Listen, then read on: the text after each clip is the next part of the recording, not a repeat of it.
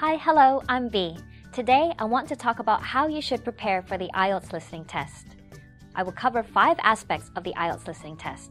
First, I will cover the format of the test.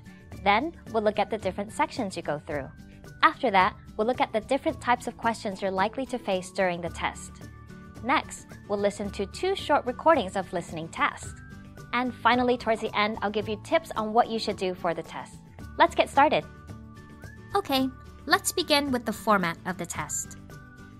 The test is based around an audio recording. The recording lasts 30 minutes, which is the length of the test. However, you don't need to listen actively for the whole 30 minutes.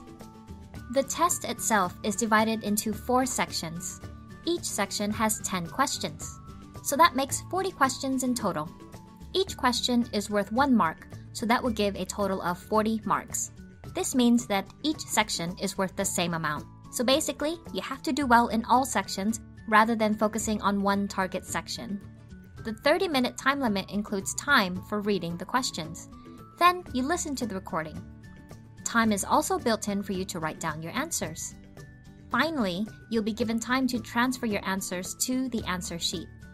Be careful here because mistakes in transferring will cost you marks. Okay, let's now look in detail at the four sections in the test.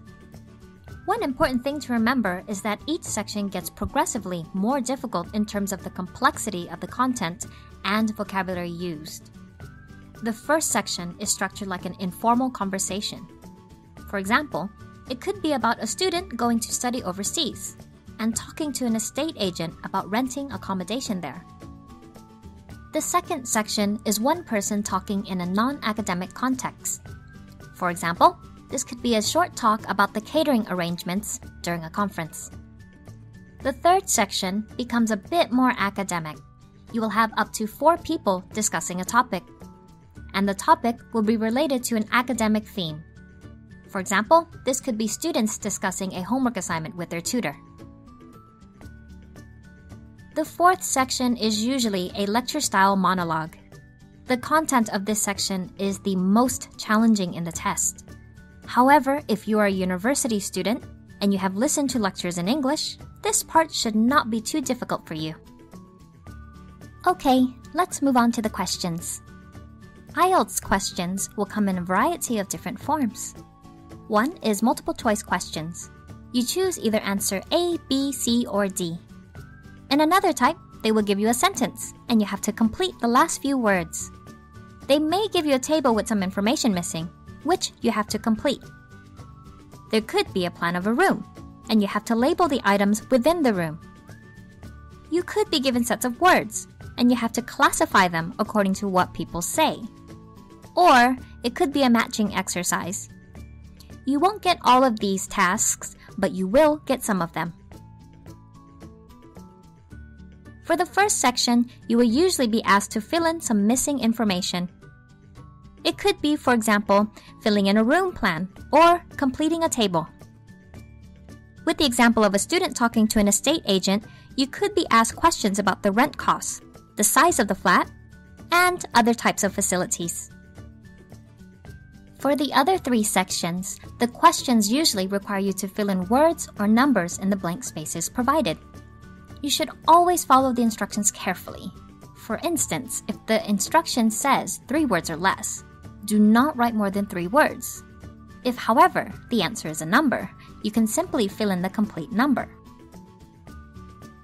Okay, let me give you some examples of some questions that you may be asked. Have a look at the first one. In the mornings, the student teachers will. Okay, we have to try to guess the missing words. Now, we don't know exactly what the speaker will say, but we can try to make a prediction. We know that because the question uses the word will, it should be followed by a verb. So we know it's a verb form, and we can have up to three words, so it could be verb and verb. And we can also have a good guess about what a student teacher is likely to do.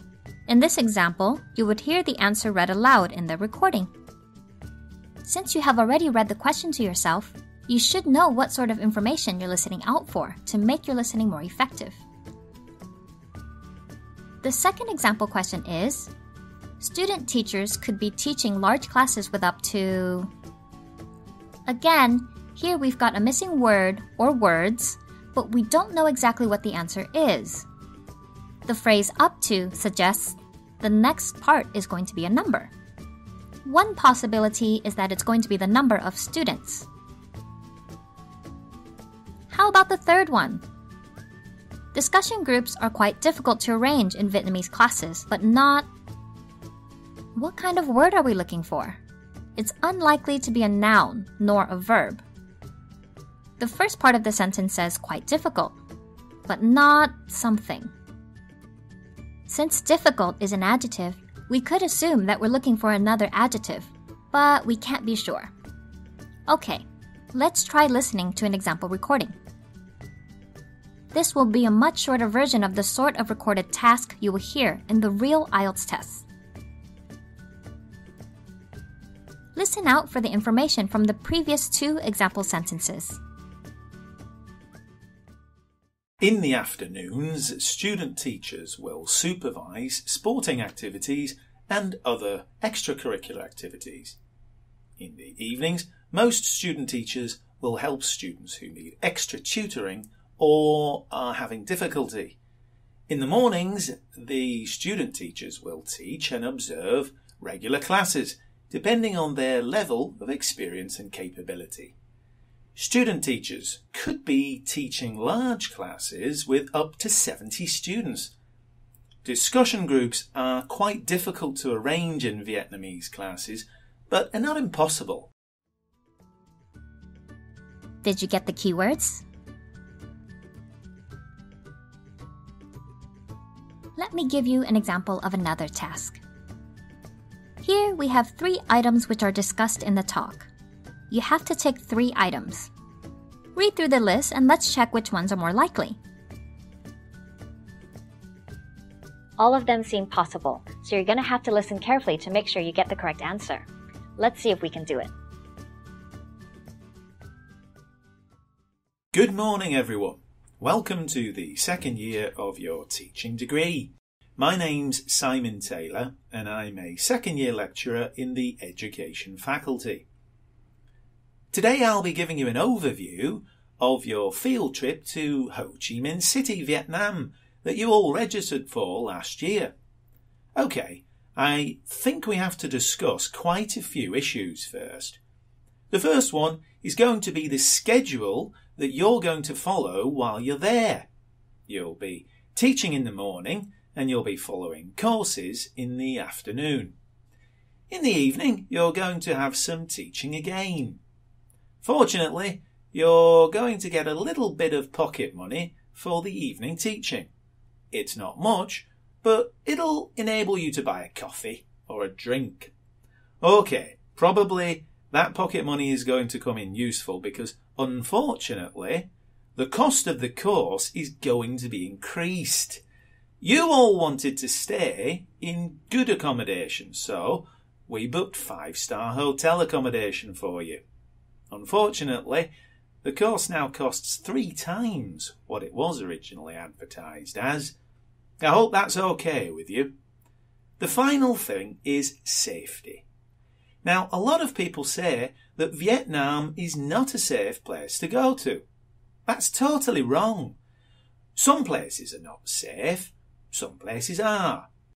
Where we'll be staying is ridiculously safe. You'll have no problem whatsoever so there's no need to worry about anything. However, I do suggest that you take the normal precautions. Don't carry too much money, don't wear Rolex watches, and don't behave as though you're incredibly rich. Just pretend to be normal. Did you get all the answers? In an IELTS listening test, you can only listen to the recording once. So after listening to this recording, which items on the list would you tick? Do you need to pause and listen again? If not, here are the answers. These are the three answers you should tick. Okay, this brings us to the fifth and final part the tips for IELTS. First, follow the instructions carefully. They may be different to practice or previous tests. Read the questions, predict what information you need, then listen for the specific information you want. Try and anticipate what the speaker will say. This will require concentration. But do not worry if there is a word you do not understand. You may not need to use it. And if you do not know the answer to a question, attempt it, but do not waste time. Move quickly on to the next one. Be careful with your spelling and grammar. If it's spelt wrong, you lose marks. Do not panic if you think the topic is too difficult or the speaker is too fast. Relax, focus, and tune in. You need to read, write, and listen at the same time. Remember to focus precisely on what you are asked to do in completion type questions. Pay attention to the word limit. For example, if you're asked to complete a sentence using no more than two words, and if the correct answer is wooden cabinet, the answer, cabinet made of wood, would be incorrect. Make sure that you attempt all questions. There are no penalties for incorrect answers. And be careful when transferring your answers. Finally, check your answers to make sure you got them all.